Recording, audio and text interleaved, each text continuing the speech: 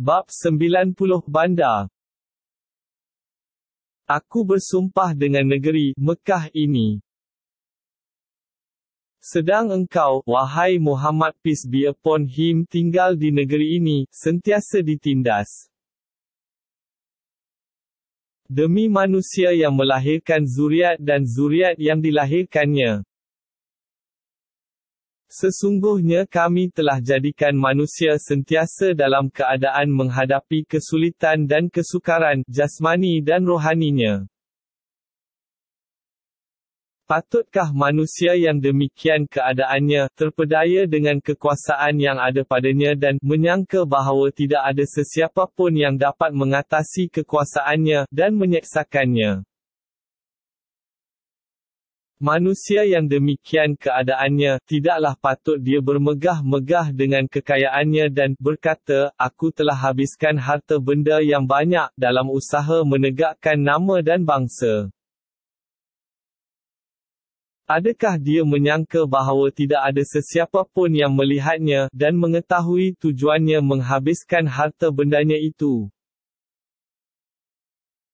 Mengapa manusia terpedaya dan bermegah-megah?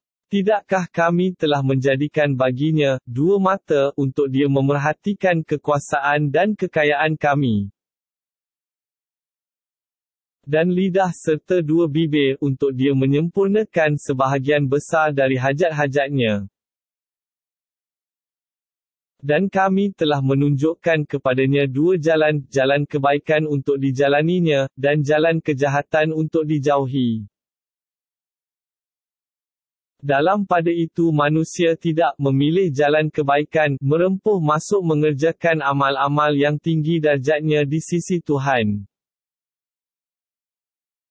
Dan apa jalannya engkau dapat mengetahui apa dia amal-amal yang tinggi darjatnya di sisi Tuhan itu? Di antara amal-amal itu bagi orang yang mampu ialah memerdekakan hamba abdi atau memberi makan pada hari kelaparan